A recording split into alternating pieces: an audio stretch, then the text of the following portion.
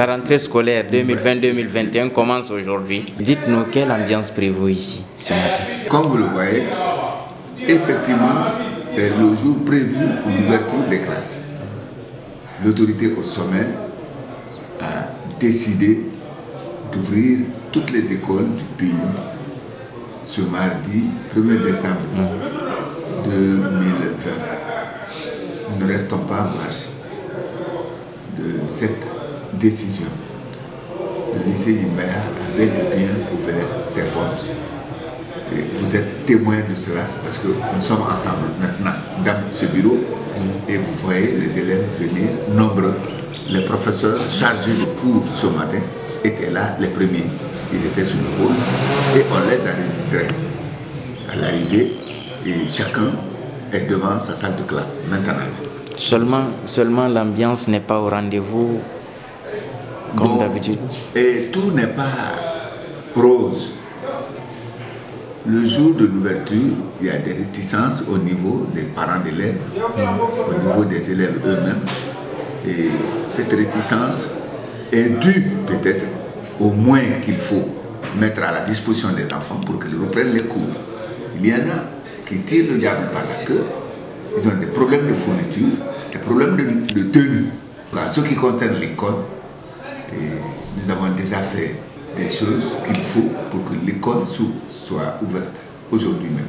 Parce que les listes sont faites, la répartition des élèves par classe en fonction de leur admission est déjà faite. Tout est affiché devant la salle de classe. Vous venez, vous regardez devant les salles de classe, tu trouves ton nom. C'est ta classe. Et les professeurs, bien avant euh, la date en question, la première réunion les dispositions à prendre pour l'ouverture ont déjà reçu leur emploi du temps. Et si je ne me trompe, j'ai donné au moins un cahier à chaque professeur chargé de cours pour que les premiers cours soient effectifs. Donc, ces cahiers de préparation, et personne ne peut venir en classe sans préparer, c'est bavarder et non enseigner. en ce moment. D'accord. Comment vous avez, contre ça. comment vous avez réparti les groupes pédagogiques cette année D'autant plus que, pardon, on sait que les la pandémie du coronavirus sévit toujours dans notre pays.